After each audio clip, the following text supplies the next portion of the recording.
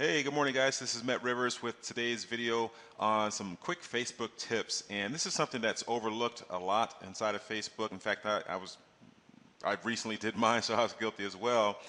And um, it's, it's, it's, a great way to get people to actually click on uh, into your offers or your capture pages inside, while they're inside of Facebook uh, with no extra work from you.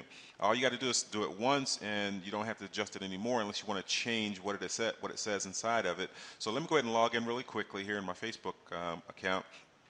And if you go over to uh, my fan page, this is where I'm gonna, just going to show you how to do it.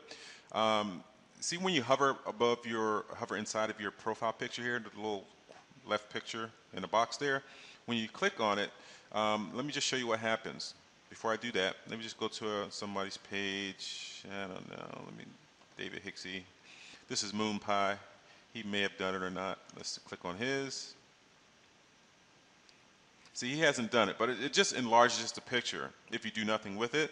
But if you edit it, let me just show you this. If you go ahead and edit that profile picture, you can actually put some text in here, you know, and look at that. See this? It can be um, anything, anything you're offering. You can just subtly put in your link here uh, for people to click through to whatever offer or capture page or training or video that you want, want to share with people.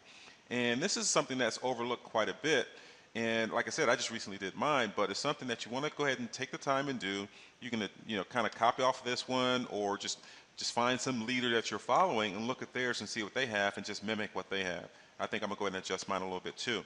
But that's a great Facebook tip there that a lot of people kind of overlook. Another thing is make your links clickable by adding HTTP colon forward slash forward slash. All right, guys, that's it for this video. If you have any questions, hit me up on Facebook. I look forward to uh, sharing more videos and um, marketing training with you. Have any questions?